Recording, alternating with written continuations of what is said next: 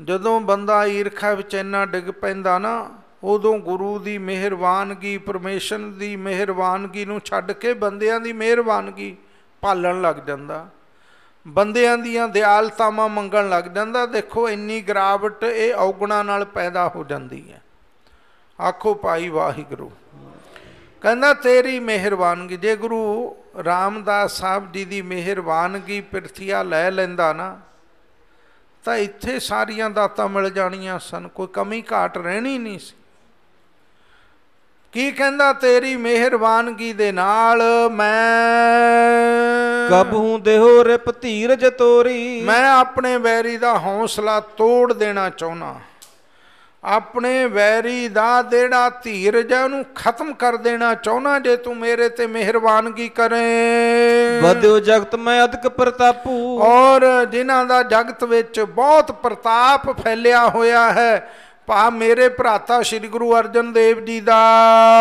ਦੇਖਤ ਸੁਨਤ ਮੋਹਿ ਉਰ ਤਾਪੂ। ਜਦੋਂ ਦੇਖਦਾ ਸੁਣਦਾ ਮੇਰੇ ਹਿਰਦੇ ਨੂੰ ਤਾਪ ਚੜ ਜਾਂਦਾ ਤਾਪ। ਈਰਖਾ ਵੀ ਤਾਪ ਚੜਾ ਦਿੰਦੀ ਹੈ ਭਾਈ। ਇਸ ਕਰਕੇ ਤਾਪ ਚੜ ਜਾਂਦਾ ਹੈ ਮੈਨੂੰ ਬਿਮਾਰੀ ਬੁਖਾਰ ਚੜ ਜਾਂਦਾ ਹੈ ਈਰਖਾ ਦਾ। ਆਏ ਇਤੋਂ ਕਰ ਕਾਜ ਹਮਾਰੇ। ਇਧਰ ਨੂੰ ਆ ਮੇਰਾ ਕੰਮ ਕਰਕੇ ਦੇਣਾ ਕਰ। ਦੇਹੋ ਗੁਰਤਾ ਅਰਜਨ ਕੋ ਮਾਰੇ। ਔਰ ਮੈਨੂੰ ਗੁਰਤਾ ਗੱਦੀ ਦਵਾ ਦੇ ਗੁਰੂ ਅਰਜਨ ਦੇਵ ਜੀ ਨੂੰ ਮਾਰ ਦੇ।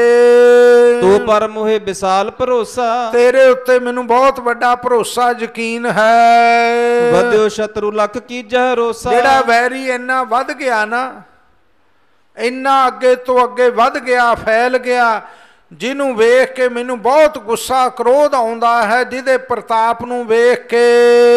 ਇਮਲਕ ਦਿੱਲੀ ਪਠ ਹਲਕਾਰਾ। ਇਹੋ ਜਿਹੀਆਂ ਗੱਲਾਂ ਲਿਖ ਕੇ ਆਪਣੇ ਵੱਲੋਂ ਇੱਕ ਹਲਕਾਰਾ ਦਿੱਲੀ ਨੂੰ ਚਿੱਠੀ ਵਿੱਚ ਭੇਜ ਚਿੱਠੀ ਤਿਆਰ ਕਰਕੇ ਹਲਕਾਰੇ ਦੇ ਹੱਥ ਵਿੱਚ ਚਿੱਠੀ ਦੇ ਕੇ ਦਿੱਲੀ ਨੂੰ ਭੇਜਿਆ ਹੈ ਪਿਰਥੀਏ ਨੇ। ਦਿਉ ਇਨਾਮ ਕਰੋ ਇਹੋ ਕਾਰਾ। ਔਰ ਹਲਕਾਰੇ ਨੂੰ ਲਾਲਚ ਦਿੱਤਾ ਕਹਿੰਦਾ ਤੂੰ ਮੇਰਾ ਇਹ ਕੰਮ ਕਰਾ ਦੇ। ਜਿੰਨਾ ਇਨਾਮ ਮੰਗੇਗਾ ਉਨਾ ਦੇਵਾਂਗਾ ਸੁਨ ਤੂਰਨ ਗਮਨਿਓ ਮਗ ਮਾਹੂ। ਜਿਹੜਾ ਹਲਕਾਰਾ ਸੀ ਪਿਰਥੀਏ ਦੀ ਚਿੱਠੀ ਲੈ ਕੇ ਛੇਤੀ ਦਿੱਲੀ ਨੂੰ ਚੱਲ ਪਿਆ ਰਸਤੇ ਵਿੱਚ। ਪਹੁੰਚੋ ਪੁਰੀ ਮਹਾਨ ਉਮਾਹੂ। ਬੜੇ ਉਤਸ਼ਾਹ ਨਾਲ ਤੇਜ਼ੀ ਨਾਲ ਚੱਲਦਾ ਹੋਇਆ ਪਿਰਥੀਏ ਦਾ ਹਲਕਾਰਾ ਚਿੱਠੀ ਲੈ ਕੇ ਜਾਣ ਵਾਲਾ ਦਿੱਲੀ ਵਿੱਚ ਪਹੁੰਚ ਗਿਆ ਹੈ। ਮਿਲਿਓ ਸਲਾਮ ਕੀਨ ਹੋਏ ਦੀਨ। ਨੇੜੇ ਹੋ ਕੇ ਨਿਮਰਤਾ ਧਾਰ ਕੇ ਸਭ ਤੋਂ ਪਹਿਲਾਂ ਸੁਲਹੀ ਨੂੰ ਸਲਾਮ ਕੀਤੀ ਨਮਸਕਾਰ ਕੀਤੀ ਝੋਕੇ। ਪੁੰਨ ਪਾਤੀ ਸੁਲਹੀ ਕਰ ਦੀਨ। ਫਿਰ ਪਿਰਥੀਏ ਦੀ ਚਿੱਠੀ ਸੁਲਹੀ ਦੇ ਹੱਥਾਂ ਵਿੱਚ ਫੜਾਈ ਐ। ਖੋਲਤ ਪਠੀ ਸਖਾ ਕੇ ਕਰ ਕੀ। ਆਪਣਾ ਮਿੱਤਰ ਸਮਝ ਕੇ ਪਿਰਥੀਏ ਦੇ ਹੱਥਾਂ ਦੀ ਚਿੱਠੀ ਖੋਲ ਕੇ ਪੜ੍ਹੀ ਐ ਸੁਲਹੀ ਨੇ। ਸ੍ਰੀ ਅਰਜਨ ਕੀਰਤ ਔਰ ਕਰ ਕੀ। ਧੰਨ ਗੁਰੂ ਅਰਜਨ ਦੇਵ ਜੀ ਦੀ ਜਿਹੜੀ ਮਹਿਮਾ ਦੁਨੀਆ ਵਿੱਚ ਫੈਲੀ ਹੋਈ ਪੜ੍ਹ ਕੇ ਸੁਣ ਕੇ ਨਾ ਇਹਦੇ ਮਨ ਵਿੱਚ ਇਹ ਗੱਲ ਬੜੀ ਚੁਭੀ ਪਿਰਥੀਏ ਦੇ ਨੂੰ ਚੰਗੀ ਨਾ ਲੱਗੀ।